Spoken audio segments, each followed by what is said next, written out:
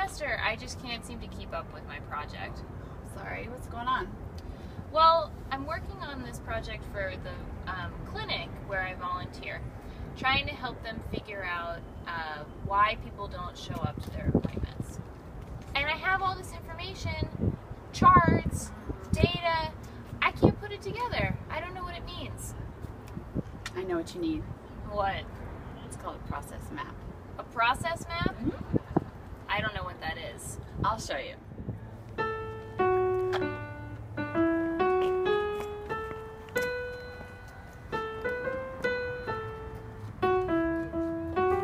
Objectives. Define a process flow diagram. Identify the purpose of the process flow diagram. Identify pros and cons to using the process flow diagram and learn the significance of commonly used symbols in the process flow diagram. So, can you tell me a little bit more about these process maps? Yeah, um, in fact, let's draw it out, okay? But I'm not that good at drawing, so. I'll help. Oh, great. You use some chalk, Okay. and then we'll come over here.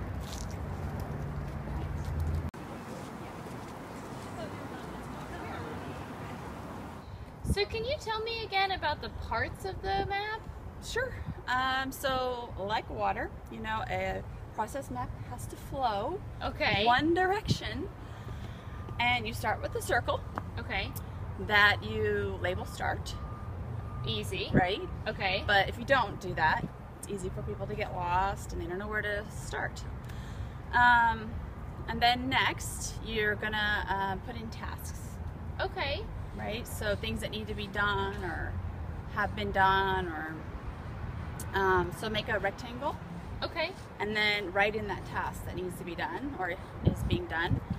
And if you have more than one task, which you probably will, um, you just label them one, two, three. More than one task is okay. Yeah, yeah, you could just have multiple tasks. Are there other shapes? Sure. Um, if you you can uh, put a diamond, Okay. and that's for decisions. All right. So something that a decision that needs to be made or has been made. So a circle is the start. Is a circle the end too? Um, yeah, exactly. So Okay. after you've done everything, a circle at the beginning, your process, and then a circle at the end labeled end. Okay.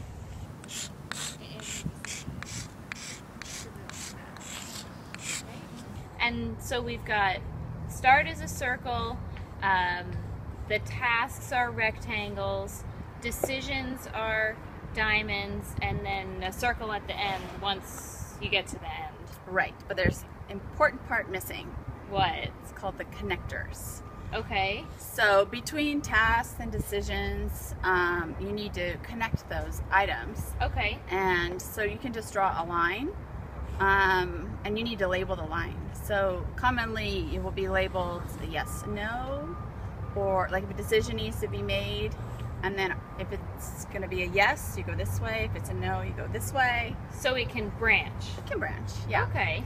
but as long as it generally flows one direction Don't go backwards. right Okay. Yes. Okay. or left right and right left and yeah Okay. try, try and keep it logically flowing um, And then how do you like when I show this to the people at the clinic, how are they going to know what all these different shapes are? Right, that's a good point because you're not actually going to label them a decision, right?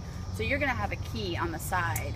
Okay. So even if, you know, even if you make up your own symbols, that's fine just as long as you have a key, right? Okay. I mean, you may read somewhere on the internet that, uh, you know, a triangle or a diamond is not for decisions. It doesn't really matter as long as you're consistent. just and- be consistent. right. Okay. Now that we've learned the basics, let's trade this for this and apply it to Lily's problem. Let's go! So Lily, tell me the process again that you want to work on. Okay, so I'm helping this clinic figure out why their patients are missing appointments. Right. Uh, so the first thing that they do is, I guess they set up an appointment. Okay. You know, when people come into the clinic, they get an appointment for their, or they get a date for their next appointment. Okay, so that sounds like a task. to me. is to like make that appointment. Yeah. Okay. So that's going to be a rectangle. Right. All right. Make appointment. Right. And like you use the verb there, that's a great way to um, make a task Okay. with the verb. Start with the verb. I don't have my start circle. Should I put one in? Yeah. Yeah. Good Okay. job. Start. Okay. Next step. So the next thing that happens um, is the patient gets a little card, like a reminder card, uh, to take home with them. Okay. So that's another task. Okay. Mhm. All right. So they have a task here, and they're connected because it's flowing kind of from left to right. So they get a reminder card. All right. So then they go home and they do their thing at home. They live their life for a month and then they come back to the appoint they come back to the clinic. So I'm wondering like maybe there's a decision in there. Maybe they decide, Mm, yes, I'm going to go back. No, I'm not going to go back. right. Because ultimately they have a decision or things come up. Yeah. So they might come back or not. And we actually we call them a week before their appointment to make sure that they remember that they're going to come. So it gets kind of complicated. Let's see. Hmm. Um, So I think you said the patient needs to make a decision yeah, whether they're going to come or not. Yeah. It's like a yes no thing, right? So yeah.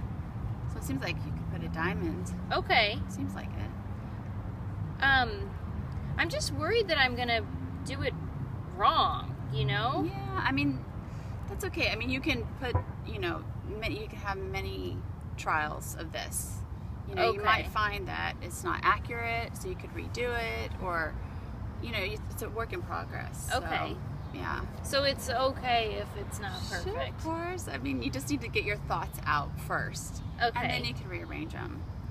So I'm going to say here there's a Y for yes, they decide to go to clinic, and then this branch is a no. Okay. I don't want to go. Okay. So I'm not going to worry about what happens down there right now. Okay. You can pick what you're just gonna go for the yes. So yeah, So say that's easier. Okay, so then they have their appointment. Yeah. Okay. And then we kind of start all over again. right. So, is that a end, or is that a loop around back to the beginning? Um. Well, do you think it's an end?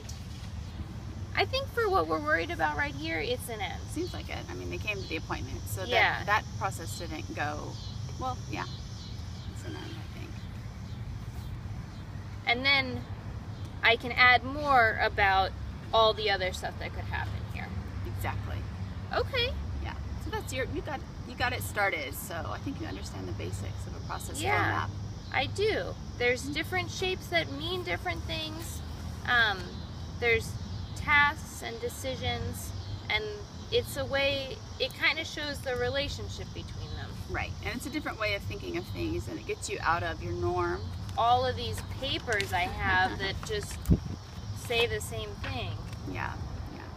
Thank you. Yeah. Well, I hope it helps. Yeah, I think it might. I need something. Now, let's talk about what the process flow map does and does not do. It does provide a coherent picture of the system or process that is being analyzed, and it does aid in the communication, and it does aid in analysis of the process, and it does identify the current sequence of steps in a process, and it does signal where you want to collect data. Now, the limitations in what the process flow map does not do is it does not identify causes of failure, it does not provide data analysis, does not measure outcomes, it does not address quality improvement ideas, and it does not compare variables. and it does not always include important detail.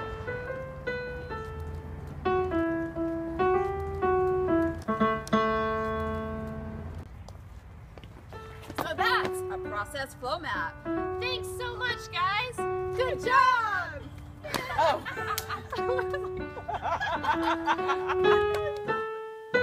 Today's program was brought to you by the letter P for process.